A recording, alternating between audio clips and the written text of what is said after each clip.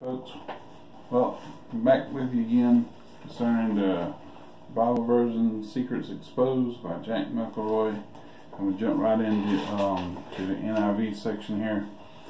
thought I was going to read another part of it, but that, I think I already covered most of that in another area right when I was doing the introduction.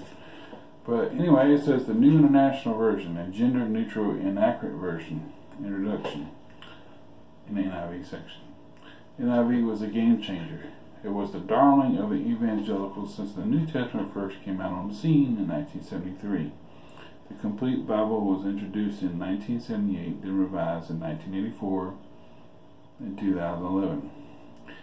They elected for its readability, however, the readability asset was the offset by. By liability. Problem 1 Accuracy versus readability. The NIV sacrifices accuracy for the sake of readability because of the nature of its translation. The problem is that although the Bible is meant to be read, it also is meant to be studied. Bible researcher Michael D. Marlowe, and I'm finding out more and more. I read through the Bible. This is my seventh time reading through the Bible, but there are things in the Bible that just need to be studied. Because that's what Paul says, study to show thyself approved. Workman that needeth not to be ashamed, right the divine word of God. Um, instead of me just reading it, I still need to study it more and more. Uh, Michael D. Marlowe, B.S. English Literature, M.A. Pittsburgh Theological Seminary, who is theological conservative reform and not King James only, says there are some criticism of the there was some criticism of the NIV from conservatives who objected to the non-literal method of the translation in general.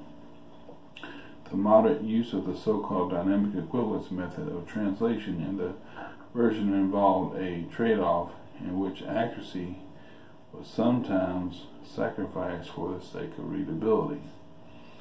As Daniel Wallace of Dallas Theological Seminary observed, readability seems to have been a higher priority than anything else in the making of the NIV.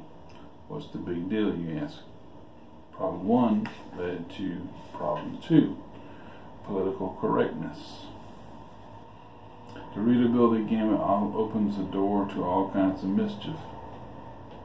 The main one that caught the attention of evangelicals is political correctness in the form of gender neutrality.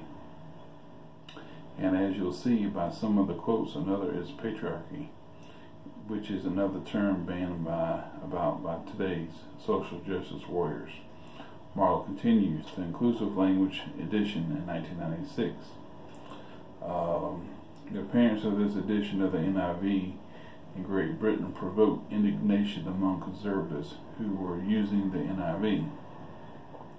A statement in the preface that the translators believed it was often appropriate to mute patriarchalism, whatever that means, of the culture of the, I'm going to look it up, I know, of the culture of the culture of the biblical writers through gender inclusive language, when this could be done without compromising the message of the Spirit, page 7 was hard enough to reconcile with conservative views of the Bible's verbal inspiration.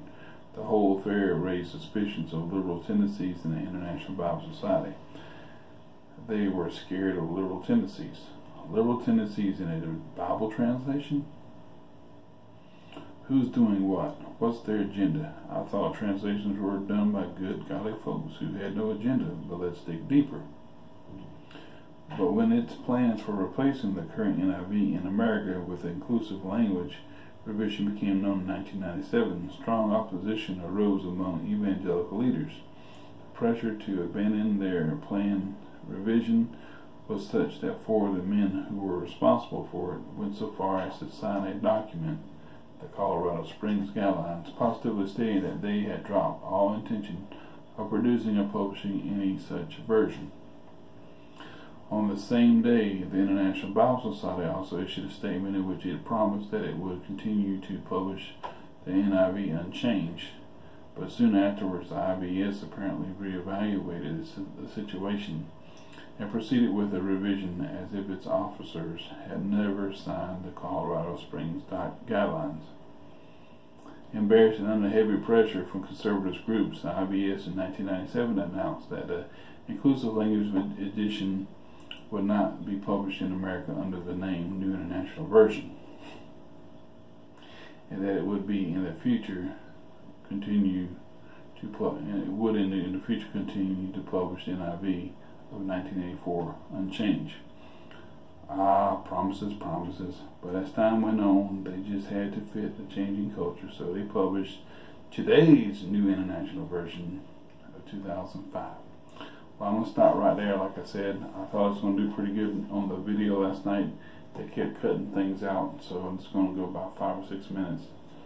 If I'm at my mom's house and I have Wi-Fi, I'll do something like that, little more lengthy ones. Thanks for watching. Bye.